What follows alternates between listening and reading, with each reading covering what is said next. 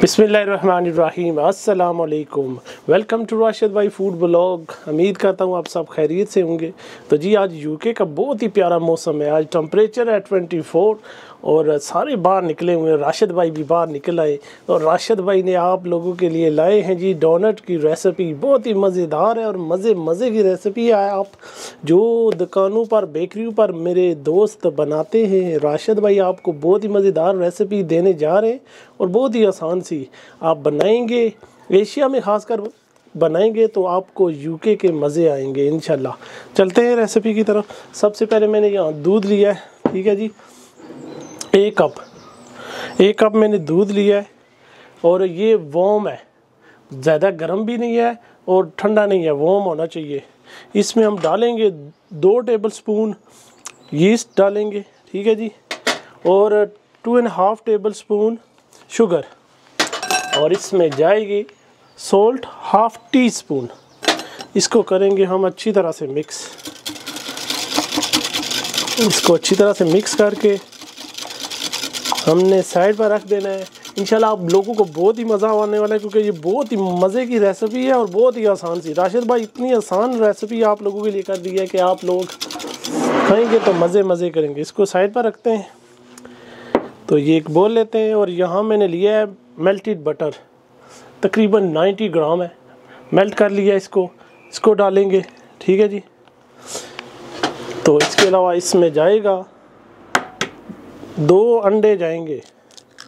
Room temperature होने चाहिए। ठंडे नहीं होने चाहिए। ठीक है जी। बिस्मिल्लाहिर्रहमानिर्रहीम। तो जी, सुनाएँ, कैसा जा रहे हैं? राशिद भाई की रेसिपीज़ देखते रहें। और देखते रहें और दिखाएँ फ्रेंड्स को फैमिलीज़ को बताएँ, अपने व्हाट्सअप चैनल में शेयर किया करें, थोड़े राशिद भाई को भी जो है ना सपोर्ट मिल जाए। और मेरी वीडियो जो एंड तक देखा करें, ताकि आप लोगों को समझ समझ लग सके कि राशिद भाई की रेसिपी पूरी समझ सकें। तो इसको मिक्स कर लिया। ठीक है जी। तो इसमें डालेंगे मिल्क और इसको भी कर देंगे मिक्स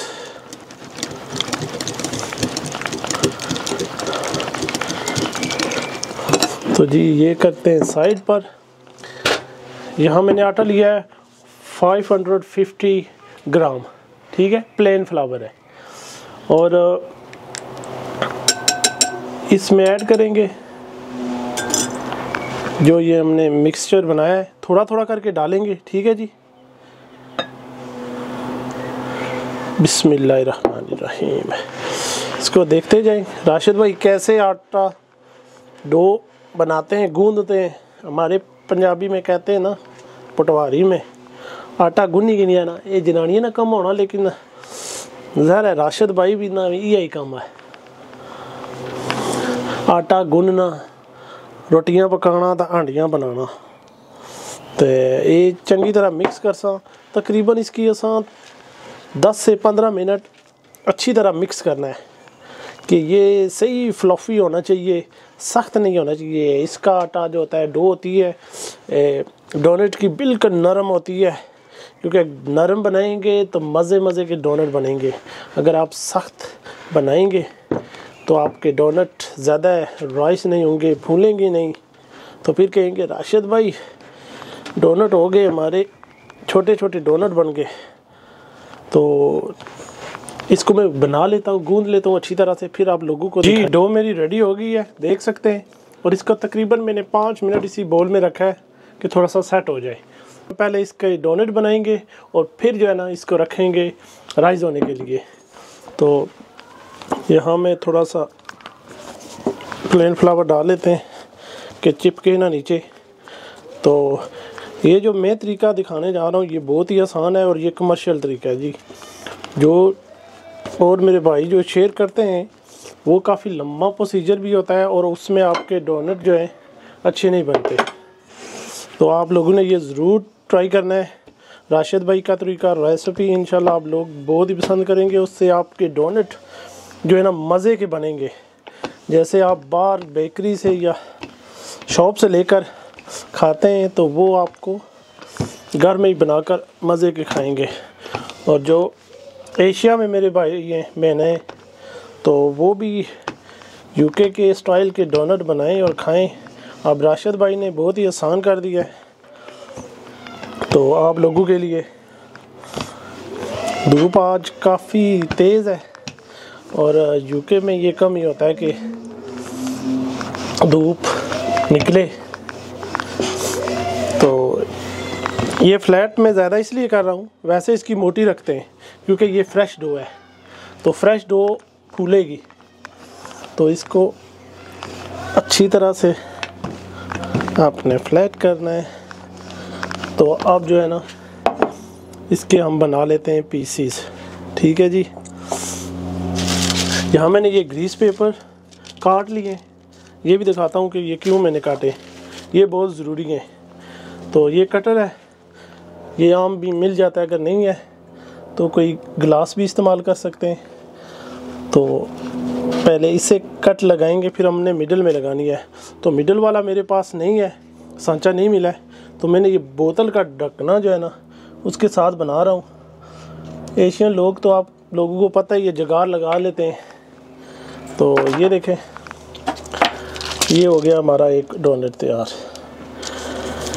इसको हमने ग्रीस पेपर पर रखेंगे। जब डालेंगे तो आप लोगों को इसको पकड़ने की ज़रूरत नहीं पड़ेगी।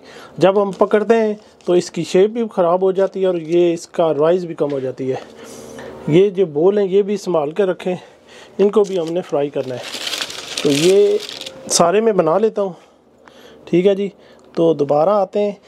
बना कर टाइम भी वेस्ट हमने नहीं करना है।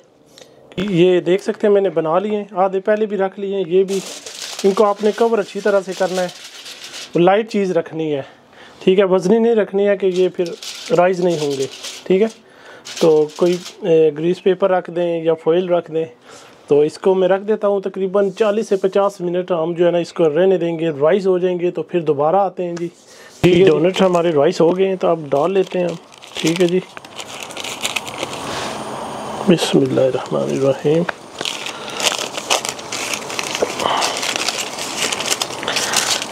माशाल्लाह बहुत ज़बरदस्त राइस हुए तो ये सारे कुक कर लेते हैं। वो फ्लेम जो है ना लो रखनी है। हाई नहीं रखनी है आपने हाई रखेंगे तो ये जल जाएँगे और इनकी साइडें भी चेंज करनी है। ठीक है जी? क्योंकि जलने का ख़तरा होता है ज़्यादा इनको। बिल्कुल लो फ्लेम पर कुक करनी है।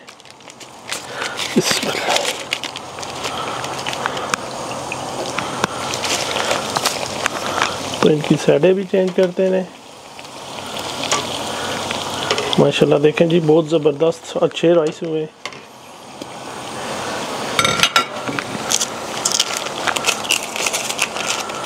तो ज़रूर आपने ट्राई करने और राशिद भाई को भी ज़रूर बताने आप लोगों ने कि जी डोनट राशिद भाई की रेसिपी आप लोगों को कैसी लगी है। तो जी, ये कुक कर लेते हैं सारे।